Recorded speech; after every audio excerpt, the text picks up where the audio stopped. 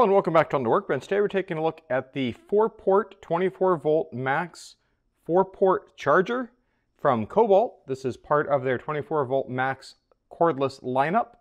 So this is what it looks like in the box. First thing looking at these boxes I think is always interesting to see the tool matrix on the top.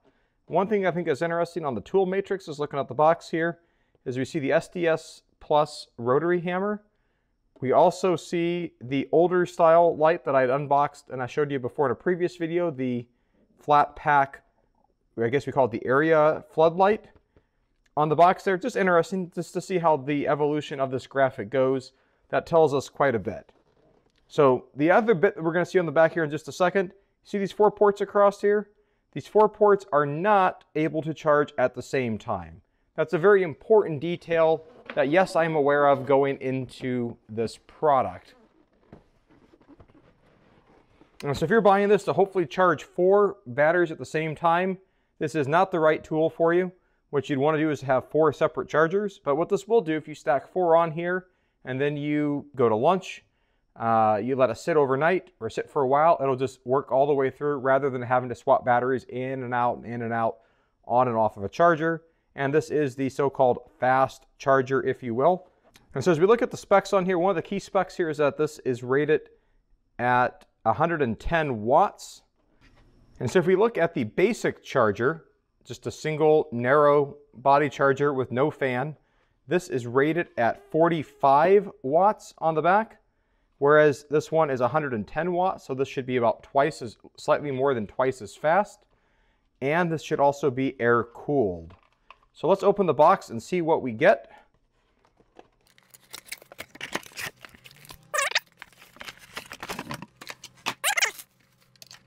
And so if we look at the charger here, you can see we've got our four slots here and we've got battery indicators over the top of each battery so can, we, we can see the status of those, as well as two pass-through outlets. There is no grounding on those as the outlet or the cord that comes with this is not grounded. A little disappointed in that. Would have been nice if this would have been grounded and actually have a grounded outlet as a pass-through or to actually have those as USB port options so you could just plug a cell phone charging cable into that directly or a charging cable for another light or something else into it directly. But since there is, but what you still could do is you could still take a stack of these that you may have floating around and then plug these into it as well and then this can charge at the same time as this is running through four of these, or you could have several of these in parallel, all running sequentially and plugged into each other. Obviously, there's going to be a limitation on what your outlet can support. So a couple little quick measurements here. Let's go across side to side. Side to side here, we're, we're looking at about 21 inches. If we want to go on end, So now looking at this from the back, one of the things I think that seems nice about this is this does lay flat like that. So this could be placed flat up against the wall and there are keyholes you can see here. Now let's check the spacing on those keyholes. Ideally that would be 16 inches to match a typical stud spacing. And what do you know? It is 16 inches on center. So if you are working on framing out a house, you do have 16 inch on center uh, mounting points, or if you've got a garage that does not have walls and all you have is the exposed framing, you could just st stick this right onto the studs and be good to go. So very thoughtful. I, I appreciate them thinking 16 inches on center matches the US market perfectly. And you can even put it on all four sides here. And then this is even printed here, 16 inches this way, there is no top to down spacing, so let's measure that. And so if we go top to bottom on these keyholes, we're looking at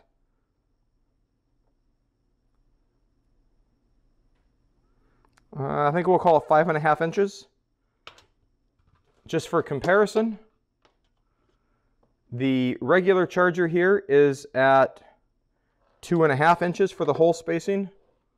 So if you see those side by side, the same holes for the small one will not work with the four port charger. On this end here, there is a fuse that is held in with a Phillips head screw. Let's see what this fuse looks like here. Ideally, you won't actually blow this fuse, but let's see what the fuse looks like.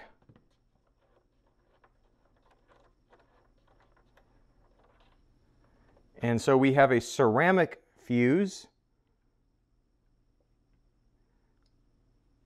And this ceramic fuse is 10 amp, 250 volts. So a 10 amp, 250 volt ceramic fuse to protect the batteries and the circuitry. I like the fact that they at least thought to make this user replaceable. Hopefully this doesn't go out on you, but it is user replaceable. One of the few times I've seen a Kobalt tool that had an intentional service port for someone to be able to service it. I appreciate that.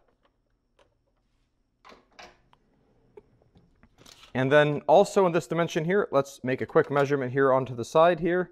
And this sits right about six inches deep.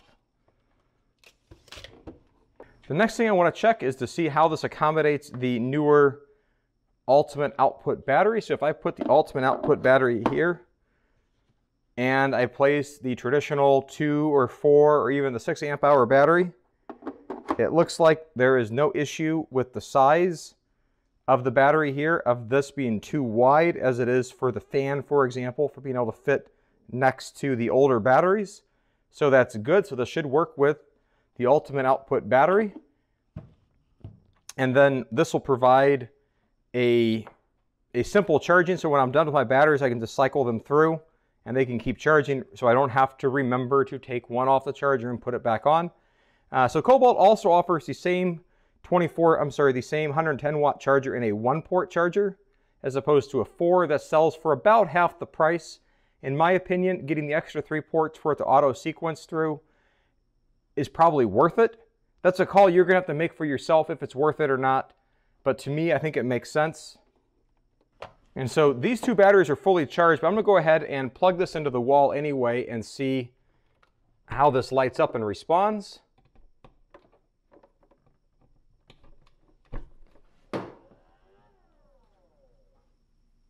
Maybe you heard the fan kick on there. Here you go like this. And like this. There it goes. Now it's flashing.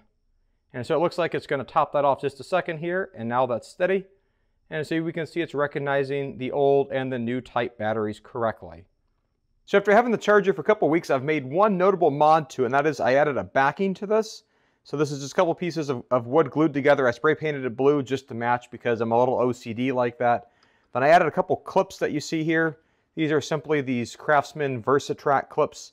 They're intended to convert a drill into being Versatrack compatible for the V20 tools from Craftsman, but since I've got the track, I don't have the, Vers the V20 tools, but I wanted to make this adaptable onto my Versatrack rails that sit above my workbench. I had this little adapter and I made that up right quick.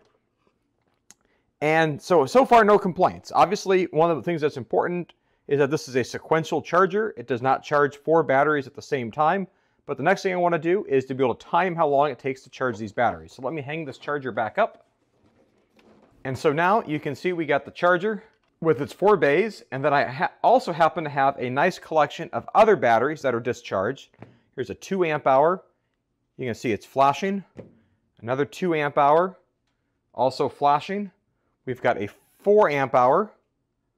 We've got the 4 amp hour ultimate output. And then we have the 6 hour battery and we're going to time how long it takes for all these batteries to charge. I also have the standard slow charger here. So we're going to start this out with a head-to-head -head between the two 2 amp hour batteries, and then the sequential charger will then go down the line with the four normal, the four ultimate output, followed by the six. Uh, and then I also have this right now. It's currently tied to a power switch or a power strip, so we'll be able to activate these all at the same time that I plug in the 2 amp hours. So now let's go ahead and load up the charger. So now we've got this 2 amp hour battery and this 2 amp hour battery that we'll be able to keep track of. On here, I'm going to turn this a little sideways so you can see the light to have a better, hopefully a better chance of seeing it. And then on top here, we've got a series of lights that once those all go green, will be good. Now just to help with the time lapse, I'm going to put a clock in here too and set that over here just to help you keep track of how much time has passed as I run this as a time-lapse video.